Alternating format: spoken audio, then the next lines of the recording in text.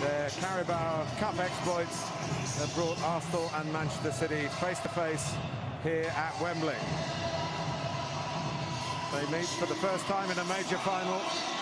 Arsene Wenger confirmed earlier in the week that he would keep David Ospina in goal and resist any temptation to bring in Petr Cech. The Wembley win here in April was achieved with three at the back, and Arsenal have reverted to that today. So wing-backs either side of Jack Wilshere and Granit Xhaka, whose goal against Chelsea got Arsenal into this final. Mesut Ozil has recovered from illness, but Lacazette is injured.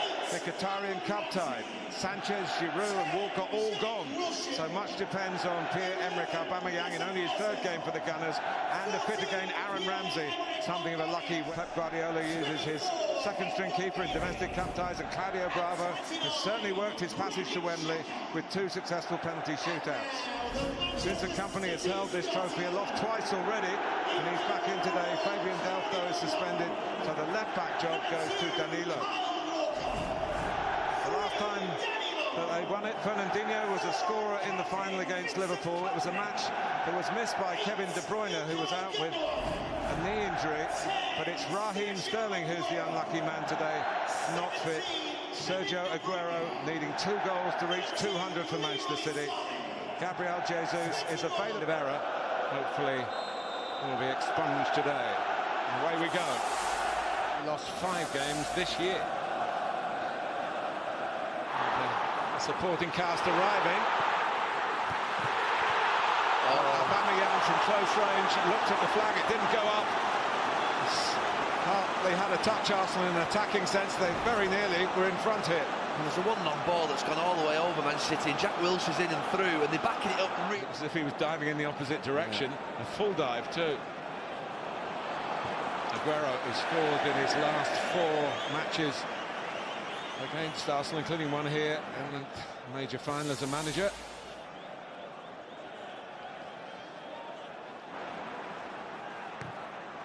Also trying to steer it in. Ooh, he dived. He dived. Tied up by Gundogan.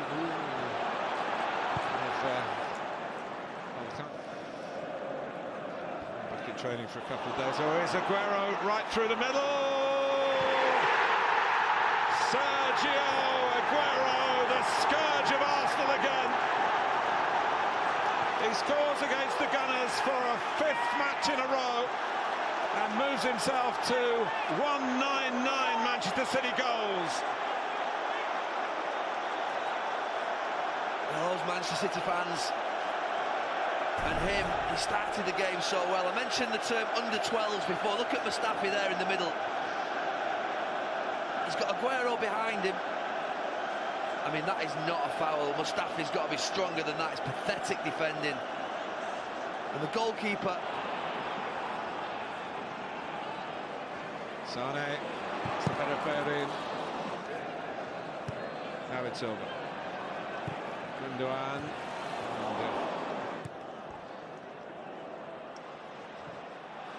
Uh, Aubameyang.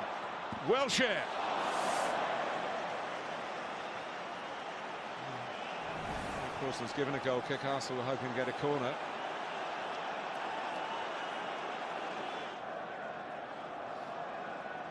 You can't imagine Pep Guardiola in the change room before the game, though, can you? Saying hit the big man Sergio up front. He's available through the middle. A different kind of hit here. They've been at the back four for a good number of games. And, uh, Aguero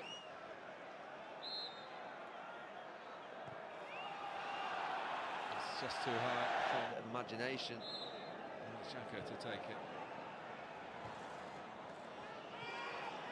To line up maybe number 200. Little clip across and hit into the side netting by Kevin De Bruyne. Well, Sane's looking at Sergio Aguero. You think he should have played it through to him there. Here's Sane. See getting better attacking efforts. Aubameyang.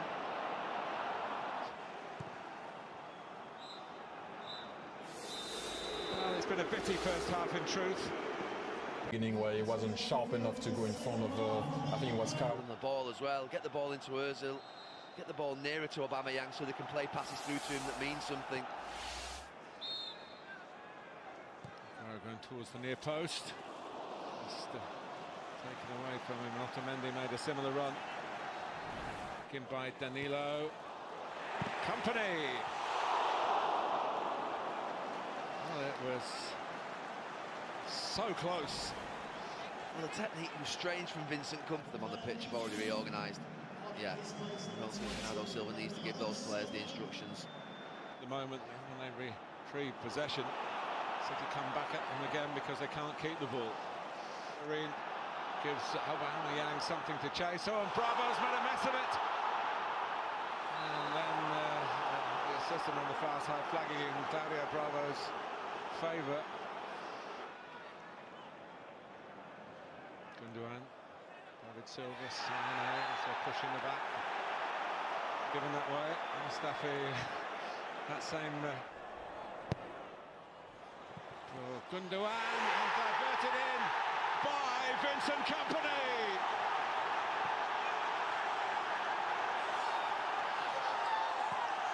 The grip on the Carabao Cup gets that much firmer for Manchester City. Oh, what a moment for Vincent Kompany. The City fans have been singing. Danilo. David Silva. And he's got one. All three scorers from 2014, 2016, and now 2018 winning teams. Surely it will be a win for Manchester City. They lead Arsenal by three goals to nil. Well, I have to say, in this period of Manchester City... forward, and he's well found by today's left back, Danilo Sane. He's got the pace. And he's on around but he's one of the walkers. In that... Arsenal go and win it back, uh, almost Manchester City style. And uh, very nearly produced uh, a notch on the score sheet for Granit Xhaka, who scored the winner in the semi-final. Yeah, for one of the first times in the game, Arsenal have won the ball high up the pitch, which gives... Very good. And, uh, on a day when we're saluting the likes of Aguero and Kompany.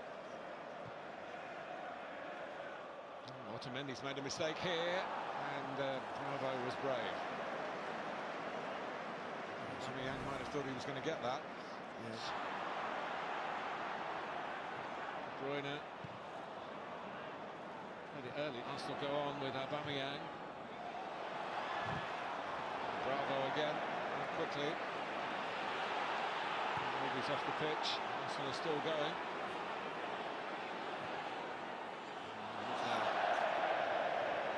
Still the enfant terrible as far as the City fans are concerned. Sinach was a decent ball, one of the better ones Arsenal put in.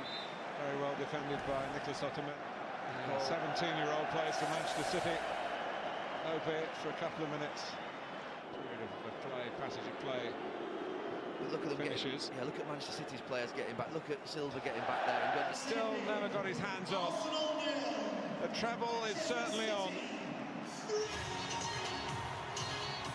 Out for the treble.